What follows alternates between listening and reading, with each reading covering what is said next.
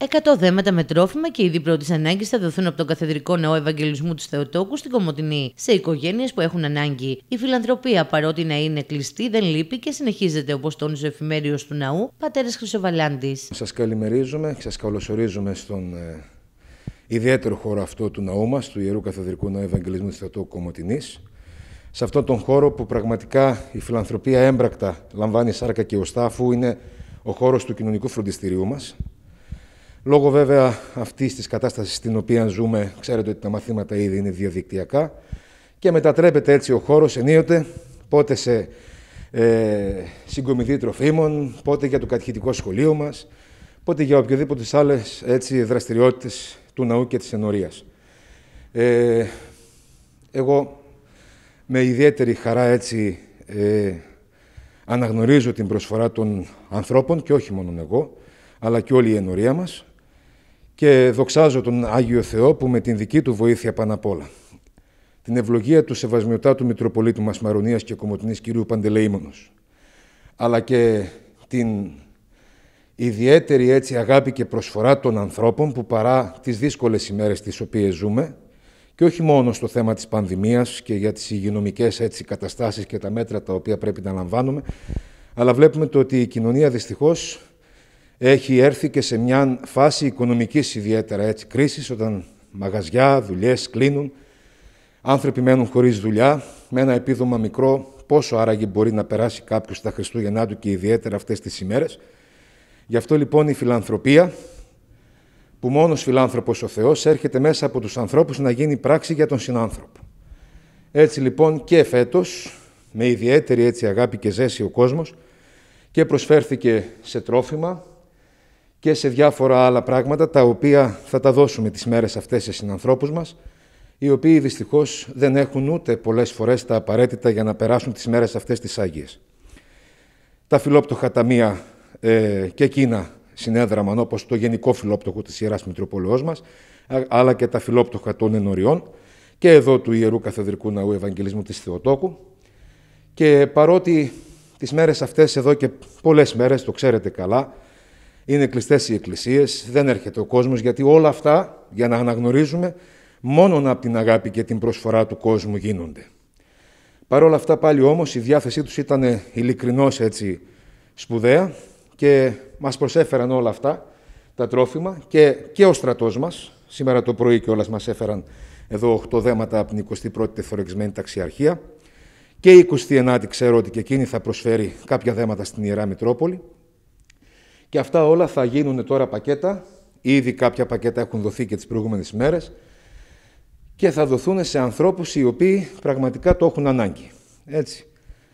Από εκεί και πέρα δεν διαφημίζουμε τον πόνο των ανθρώπων. Προσπαθούμε με ιδιαίτερη έτσι, διάκριση να τα προσφέρουμε αυτά και να ευχηθούμε γρήγορα. Όλα αυτά να παρέλθουν, ο Άγιος Θεός να βάλει γρήγορα το χέρι του που λέμε και να παρέλθουν όλα και να είναι όλα σαν μια κακή ανάμνηση. Άλλωστε εμείς οι Έλληνες έχουμε και την ιδιαιτερότητα τα άσχημα να τα αφήνουμε γρήγορα πίσω μας και να τα θυμόμαστε και να τα διασκεδάζουμε κάποια στιγμή, που βέβαια δεν είναι διασκέδαση τη στιγμή αυτή, διότι υπάρχει πολύ πόνος, υπάρχουν άνθρωποι ασθενείς, υπάρχουν άνθρωποι οι οποίοι παλεύουν με την όσο να κρατηθούν στη ζωή, υπάρχουν άνθρωποι οι οποίοι φύγαν από τη ζωή, υπάρχουν άνθρωποι οι οποίοι αγωνίζονται στα νοσηλευτικά ιδρύματα, οι ιατροί μας, οι νοσηλευτές, όλοι αυτοί που έχουν ταχθεί για την υγεία των ανθρώπων Γι' αυτό λοιπόν να ευχηθούμε, όπως και πριν είπα, γρήγορα όλα αυτά να περάσουν και να έλθει έτσι η ηρεμία και όχι μόνο η κανονικότητα, αλλά και η πνευματικότητα στους ανθρώπους, γιατί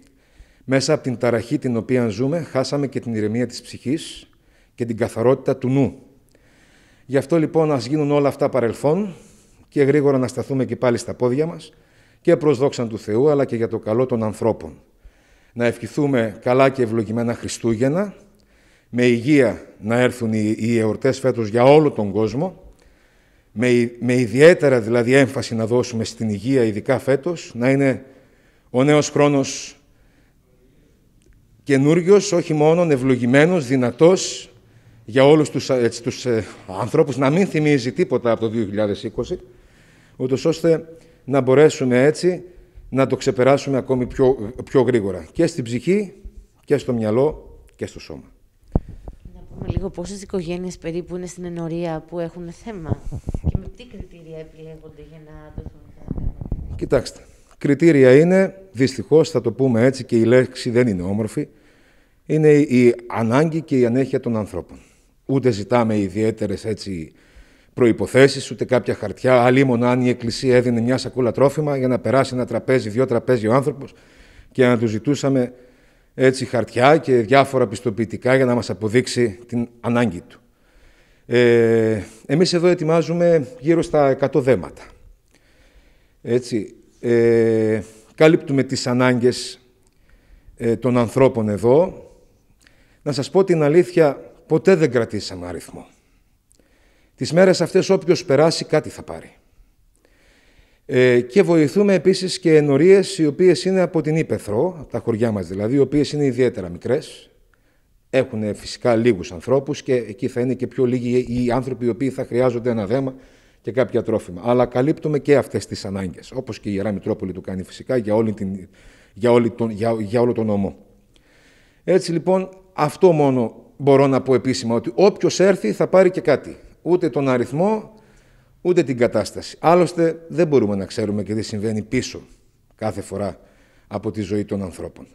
Εμείς θα δώσουμε με την αγάπη του κόσμου, δηλαδή ο κόσμος στην ουσία θα προσφερθεί, η Εκκλησία απλά γίνεται ο μεσάζων θέλοντας στο κάλεσμά της ο κόσμος ανταποκρίνεται και αυτό είναι η ελπίδα και πραγματικά αυτό που μας δίνει δύναμη για να συνεχίζουμε έτσι και εμείς ως ιερείς και από εκεί και πέρα ο Θεός να βάλει το χέρι του για όλα.